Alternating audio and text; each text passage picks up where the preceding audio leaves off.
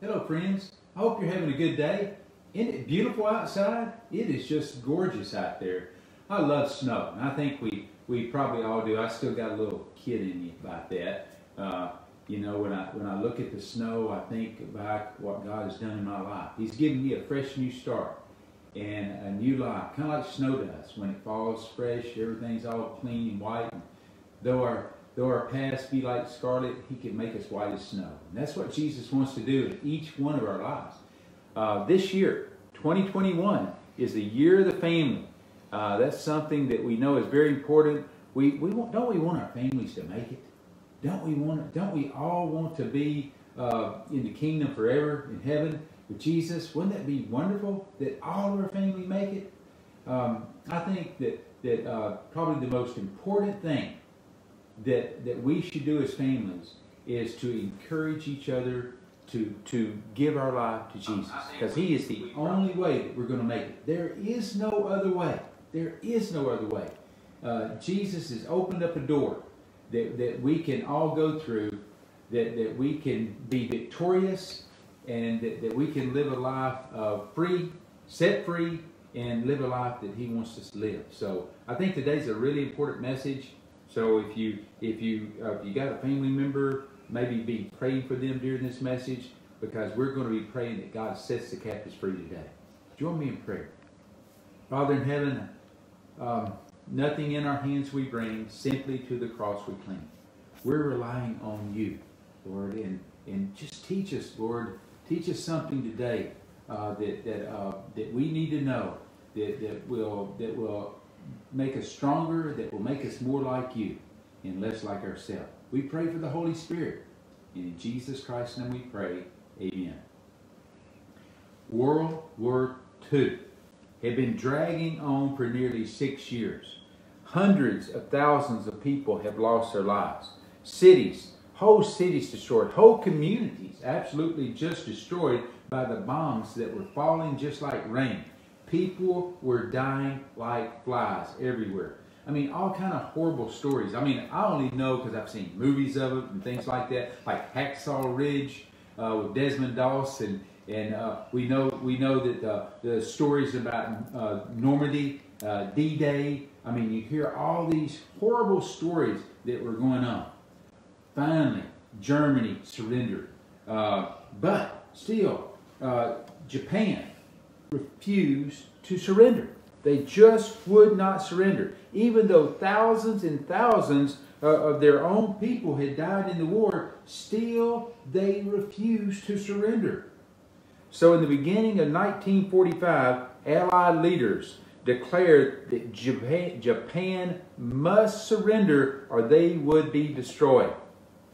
Still, they would not surrender because of their unwillingness, friends, to surrender. Uh, something happened that forever changed the world. The two, not just one, two atomic bombs were dropped on Japan, killing thousands. What a terrible, tragic event. And it didn't have to happen. I mean, that's the big thing. They had a choice. Only if they just heeded uh, the, the warnings. They, they were already defeated. They were defeated if they had just surrendered. You know, what a hard lesson to learn. Friends, as tragic and as terrible as that war was, there's a war raging right now that's far, far worse than World War II. Much worse because the, because the, because the, because of eternal consequences. It's, it's, it's so much worse because, because the effects are eternal and not just, not just for a little while. You know, and as hopeless as it was for them to stay in the war, the Bible says it's even more hopeless for us if we just hang on to, to this world. Now, I've got to tell you something today I think that's going to have a huge impact on your families unless we give up, unless we give up on this world and turn loose of our sins, unless we surrender our life to Jesus, friends, we are all going to be destroyed. That's right, we are. So the most important thing that you can give your children is Jesus. The most important words of advice that you can give the ones that you love is to surrender their life to Jesus. There is no other way. The Bible says in Romans chapter 6 in verse 23 that the wages of sin is death. But, but it doesn't have to be that way, friends. It doesn't have to be that way because the very rest of the verse says, because the gift of God is eternal life through Jesus Christ our Lord. So, yes, the wages of sin is death, but it doesn't have to be that way because the gift of God, the gift of God is eternal life through Jesus Christ our Lord. We do have a way of escape. We do have a choice. Just like Japan had a choice, you've got a choice. Your families have got a choice. And they need to choose Jesus, friends. He's the only way. So what I want to do today is I want to go to the Word of God. Go to the Word of God. And God's got a powerful message for us today. And uh, it's found in Romans chapter 6. Now, we're going to spend a lot of time here today in Romans chapter 6. So go ahead and open up your Bible there and uh, this will be a place that I hope you can mark in your Bible. Next time that, that you got something that's got a grip on your life, you can open up to that scripture, Romans chapter 6, and God has got a message of freedom for you. Freedom. Romans chapter 6 in verse 1. Listen to these words right here. What shall we say then? Shall we continue in sin that grace may abound? Right? Can we just should we just continue on? Is that part of God's plan that we just continue on and on uh, being a slave to our sin? Is that is that part of God's plan? Listen to verse two. God forbid. God forbid. How shall we that are dead to sin live any longer therein? And then in verse 3, Know you not that, that so many of us as we're baptized into Jesus Christ we're baptized into his death. I just love the picture here that the Bible's painting here. Baptism, it symbolizes death. Death to the old man. The old man, he's died here.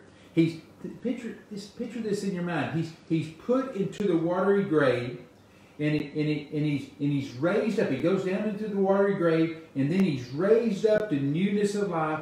How? Through Jesus Christ. Through Jesus Christ. It's no longer I that live, but Jesus Christ that lives in me. Hey, think about this. Could you could you picture trying to bury somebody that's not dead yet? No, they'd go down kicking and screaming, friends. And and uh, so, but that's not the picture that the Bible paints here. Verse four. Therefore, we are buried with him by baptism into death, that like as Christ was raised up from the dead, how? by the glory of the Father, even so we also should walk in newness of life. Friends, do, do you believe that God uh, that God had enough power to resurrect Jesus Christ from the grave? Me too. I, amen. I do believe that. That's the very core of our fundamental belief. Well, friends, shame on us for encouraging people to have enough faith to believe that God can resurrect from the grave, that resurrect from the grave, uh, uh, but not encourage believers to believe that He has enough power to, to give us a new life, a totally new life, victory over, over sin in our life, total freedom from it, free, freedom from that ball and chain. Friends, I want you to know something. Jesus not only died on that cross to pay the price for sin, he died on the cross to give us power to overcome sin. The very life that Jesus lives right now, he can save to the uttermost. He can help you overcome that sin. You don't have to be a slave to it. it you don't have to. It, you don't have to be a ball and chain to you. There is power, resurrection power in, in the blood that was shed on the cross of Calvary. And listen to verse six. Knowing this, that our old man is crucified with him, that the body of sin might be destroyed, that henceforth we should not serve sin. So, now friends, think about this. Is it our calling to be a servant of Jesus Christ, or are we, are we called to be a servant of our sin? Do we just have to be a slave to our sin? I mean, is that, what did Jesus die for? Jesus died to save us from our sin, friends to save us from our sins.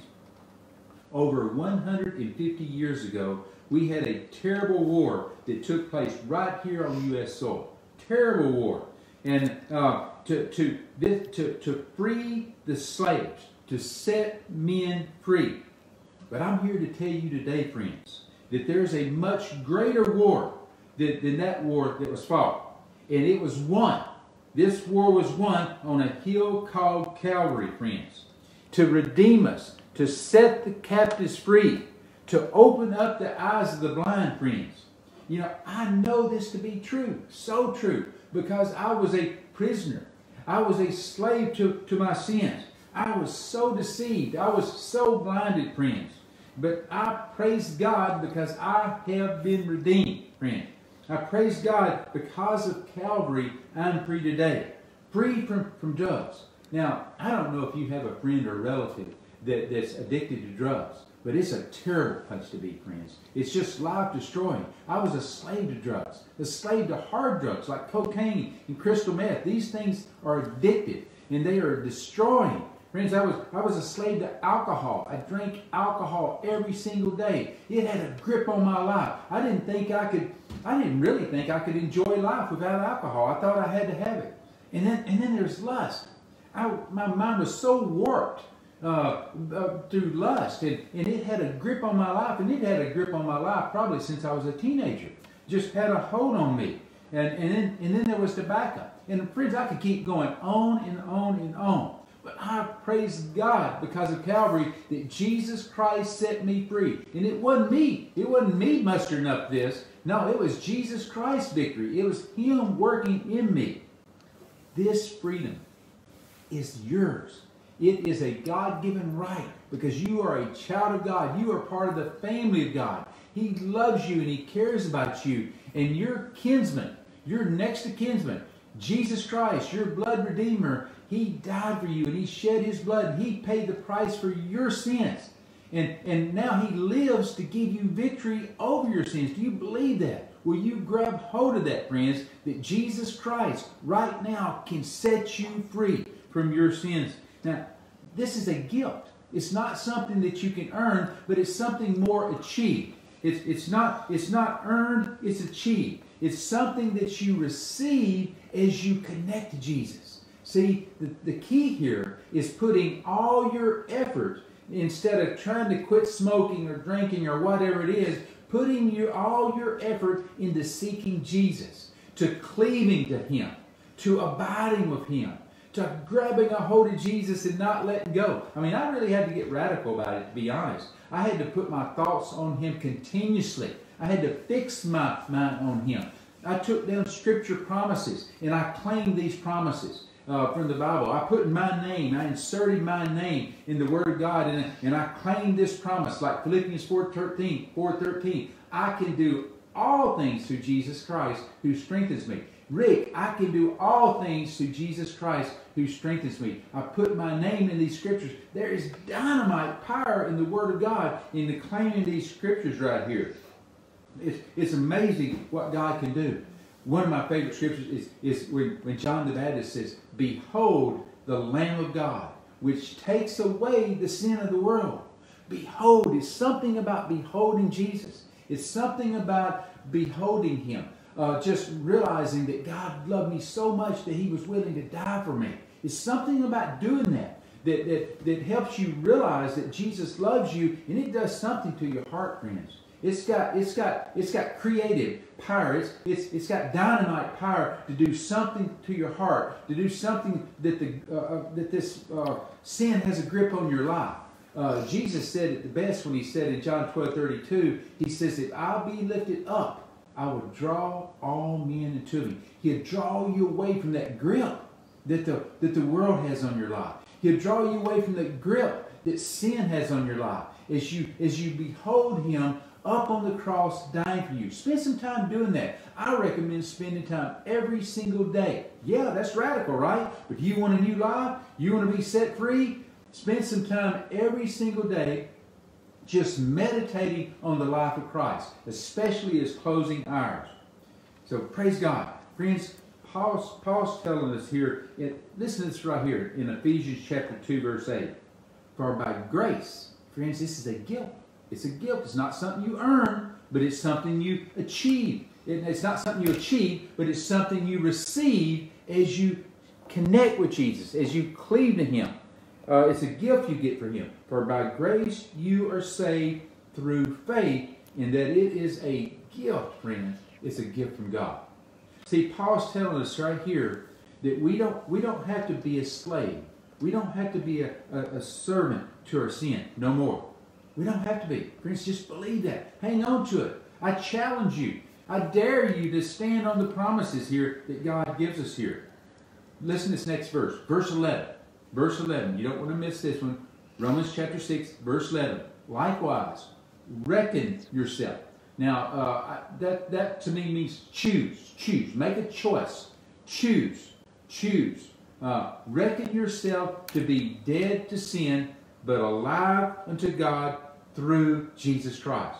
In other words, believe in this. Reckon it. Make a decision. Uh, believe. Have faith. Do you believe that God raised Jesus Christ up from the grave? Yes, He did. Do you believe that God has the power to resurrect your, your loved ones uh, from the dead? Yes, He does, friends.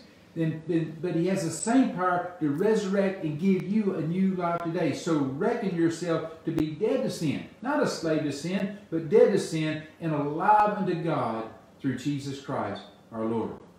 Victory. Friends, you have a choice today. In this good news? You have a choice today. The Bible's telling you that you can be free. You can be victorious. So, that's what I did. I know this to be true. Now, verse 12. Verse 12. Let not, this whole chapter 6 is great. Let, verse 12. Let not sin therefore reign in your mortal body that you should obey it in the lust thereof. Don't let sin therefore reign. Don't let sin have dominion over you. Jesus didn't go through what he went through to, to, to, to, to just leave us in our sin. He, he went through what he went through to save us from our sin, to give us power to overcome sin. Now, this next, this is the key. This next verse, verse 13. Now get this right here, verse 13. Neither yield yourself, neither yield ye your members as instruments of unrighteousness and sin. Now, this is a key point right here. Key point. You see, sin is a choice, friends. That's right. Really, it's a choice. The Bible tells us right here that we yield to unrighteousness to commit sin. It is something you decide you're going to do. Now, I think of David. David, a man after God's own heart. Think about this. When David, David and Bathsheba, remember, you know, David had come back earlier. His men were out there fighting and everything. And David walked out on his balcony, and there she was, Bathsheba. Uriah, one of his best friends, one of his mighty men. His wife was laying down, down there bathing. Now, he had a choice right then. What should he have done? Now, this is a man after God's own heart. What he should have did, he should have turned around right then, shouldn't he? That's not what he did. He just, he gazed down there. He kept, he kept looking. The Bible says in verse 13, don't yield. Don't yield yourself to unrighteousness, but yield yourself unto God. Friends, you got a choice. You can yield yourself to unrighteousness, or you can yield yourself unto God. As those that are alive, those that are alive from the dead, and your members as instruments of righteousness in God. Now, friends, don't miss this point right here. Temptation is a fork in the road. That's right. It's a fork in the road. When we come to it, we've got a choice to make. We can choose to yield to God, right? Or, or and be led down the road of righteousness. Now, friends, I want, I want you to know. I remember the first time that, I, that, that God gave me victory over alcohol. Now, I had a choice. I had a choice. I made a choice that I was not going to drink anymore. Did I get tempted? Yes. But when I got that temptation, I made a choice. I yielded to God. I yielded to God, friends, and, and, and, the, and there's power in yielding to God. Because as soon as you yield to Him, that grip is broken right then. Now, it's, it's broken right there. There. And, and if you if you if you turn away from the devil, he will flee. He will flee from you. That's what I did. I, I said, no. I've yielded to God. And friends, every time after that, it got easier and easier and easier to yield to God. I promise you, it works that way. See, we can choose to yield to God, to be led down the road to righteousness, or we can yield to the temptation. We can yield to self. That same old road we've been yielding to and yielding to, friends. Friends, I challenge you. yield to God.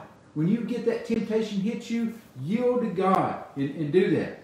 You know, as soon as soon as temptation pops in your head, don't dilly dab around with it. Don't play around with it. As soon as that temptation hits in your head, right then you give it to Jesus. Right then you yield to God. Think how the story would have been so different if, if David, when he looked down, when he looked down at Bathsheba, as he, if he had yielded to God right then, as he turned around, it had been so much different. But friends, we know what happened after after he yielded instead to the temptation and it kept going on. What did it lead to? It was a slippery slope. I promise you that David didn't wake up that day, stretch, and say, "Oh, I think I'll kill Uriah, one of my best friends." No, no, he didn't. That's what sin can do. Sin is dangerous, friends. It's luring for one thing, very luring. And see, sin comes from the enemy. He tempts you into sin because he wants you to be separated from God. And he, and he does it. It's so dangerous, very dangerous. Now I want you to think about something here. Think about this here. If you're driving down the road, you're driving down the road and you, and you come up to a yield sign, what do you do? What do you do? I mean, no matter how big a hurry you're in, what do you do? You're, you're, you're, you, well, I'll tell you what you don't do. You, you don't go, out of my way, I'm coming through anyway. No, that's not what you do. No matter how big a hurry you're in, no matter how late you're running, you, you, you stop and you yield. That's what you do. That is exactly what you do. The Bible says that we are to yield to Jesus. When, we, when we're driving down uh, life's road, when we're traveling down life's highway, and we come face to face with a big temptation, we are to yield to Jesus. Exactly. Not my will, but your will be done, Lord. This is so important here, friends. Verse 16 says, Know you not, know you not, that to whom you yield yourself servants to obey, his servants you are to whom you obey. Sin unto death, or obedience unto righteousness. So clear. Friends, the Japanese would not yield. They just wouldn't do it. They would not raise the white flag. They wouldn't do it. They were defeated already. They were dead on their feet. Friends, Christians today are the very same way. Deceived, hanging on to their pet sins, total slaves to them. They, they've told themselves so long that it's okay. They, they told themselves so long that they've rationalized it and they just believe it's something that they've got to live with forever. When God wants to give them victory, victory over that besetting sins. They're just hanging on to their, to their lust and their, their desires. Even though, friends, even though the Word of God is so clear right here in Romans chapter 6 and throughout the Bible here, even though the Word of God says yield but they won't let go. They won't trust God. Friends, don't let that be you anymore. Yield to, yield to God, and He will give you victory. Just like the best way I could put it, you know, these promises that God gives us in the Bible here, they are powerful. They're not meant to just be memorized, they're meant to be internalized. There's power in these words here. You know, the Bible says that, that by, by through these words here, these precious promises here, that we can be partakers of the divine nature. You are a child of God. The child of the King is, is who you are. When we see God's will, when we see God's will, it is our job, our job to yield, friends. Yield to Him. Now, this is not a works-based salvation, friends. This is faith. This is relationship. See, you'll never be able to overcome anything on your own. The only way that you're ever going to be victorious is through the righteousness and through the power of Jesus Christ. It's His victory. But when we when we come to Him, when we cling to Him, it gives Him permission to work in your life and work out that victorious life that, that He wants you to have. Now, is this easy? Well, apparently not, because you're wrestling against flesh is what you're doing. But friends, every time you yield to God, it's going to be that much easier to yield to Him again. But likewise, every time you yield to that temptation, it's going to get easier and easier and easier to yield to that temptation. Now, I want to give you an example in the Bible uh, that I think is probably one of the best examples there is. Jesus is our example. Uh, open up your Bible to Luke chapter 22. Luke chapter 22. And we find when we get here, Jesus is in the Garden of Gethsemane. Uh, he's in his very final hours, right before the cross of Calvary here. Genesis chapter 22 in verse 39. It says, As he went to the Mount of Olives, his disciples followed him. They, they, they followed him. Jesus knew, now think about this, friends. Jesus knew that he had a date with the cross. It was dead ahead. It was right in front of him. You know, friends, we have really, we really don't. We had no idea how ugly the cross was, how awful it was. You know, I, I, I've only read about it, and probably you too. I mean, you know, we've never experienced any, anything like that, but I want you to know, friends, it was horrible. It was, it was terrible, is what it was. And Jesus knew that it was coming. He knew that, and, and, but he made a choice. He see, he could have got out of it any moment, but he didn't come to this earth. He did not come to this earth to save himself. He came to save me and you. And he came to save us from our sins. And there was no other way, friends. No other way. In verse 40, he said to his uh, to the disciples here, he says, Pray that you enter not into temptation. Pray. And he withdrew from them about a stone cast, and he kneeled down and prayed. Now, what do you think? What do you think was going through his mind here, friends? Did, did, did, did, did he did, did he die for us willingly? Yes, he did. Yes, he did. Was it was it was it was he looking forward to going through it? No way. No way. His human was no. You know, he knew that it was going to be awful. He knew that it was going to be brutal. He, he knew that it was going to be unbearable. He knew what he was about to go through. So Jesus did the same thing that any one of us would have did when we're crying out to God for help. He said, he said, so he prayed to his father. He says, you know, I, I don't want to go through this. I don't want to go through this. I want to avoid this. If there's any way possible to get me out of this, Lord, do it. That basically, I'm paraphrasing, but that's basically what he said. Verse 42. He says, Father, if if Father, if thou be willing, remove this cup from me. Nevertheless, what do you do here? What do you do right here, friends? Yo, Lord, I don't want to go through this. If this cup could pass from me, if there's any other way, but, but then what does he do? He yields. He says, not my will, but may your will be done. Now, now, what happened is Jesus came to the fork in the road, facing Calvary. And, and it, it, it made him sweat great drops of blood just thinking about it. I mean, but he yielded. Friends, he yielded to his Father. Not my will, but your will be done. Friends, are you at a crossroad today? Have you come across, are you there today? I don't believe it's an accident that God has you today watching. I don't believe it's an accident at all. I believe there's someone out there right now that's been struggling with sin for a long time. And, and, and you might be, you, you might have children. You might even have grandchildren that you want to be a role model to. You want to, you want them to make it to, to heaven. You want them, you want them to know that there's a God that can help them through whatever they're going through. So, so you're tired of it. You, you want, you want victory over the, whatever this, this sin is. You know it's God's will.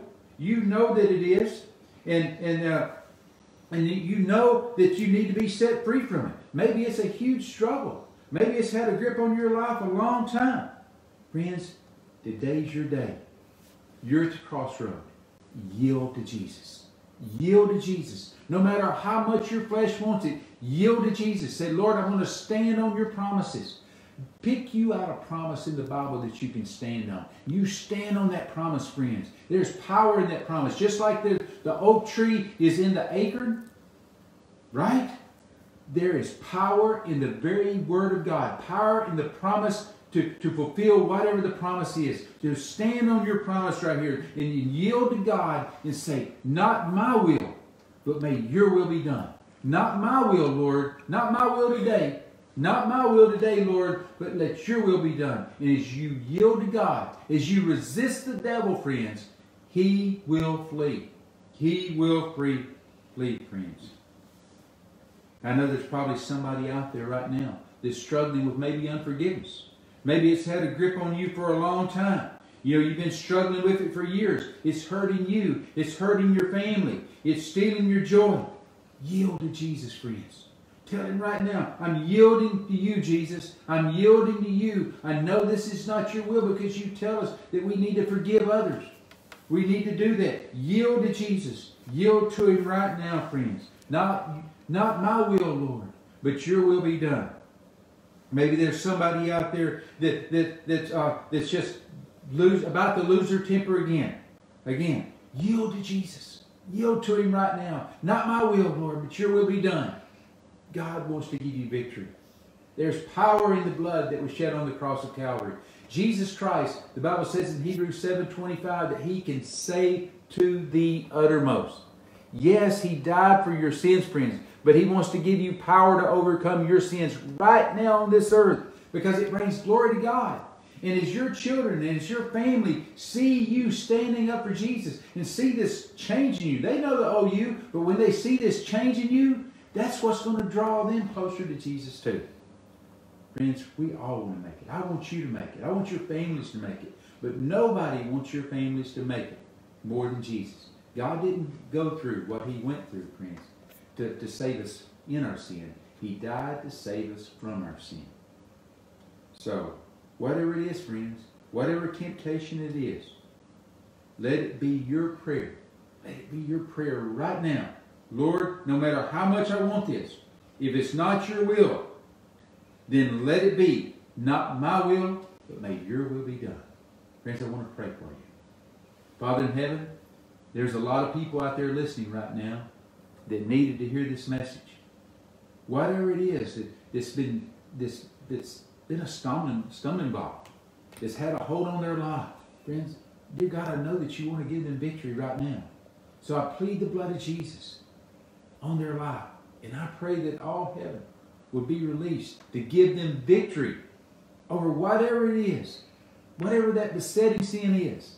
Lord, set them free. Set the captives free, Lord, for your glory. In Jesus Christ's name we pray. Amen. God bless you, friends. Know that Jesus loves you and he cares about you. And he's coming back soon. He's coming back soon to get you and your family. We all want to be there. God bless you.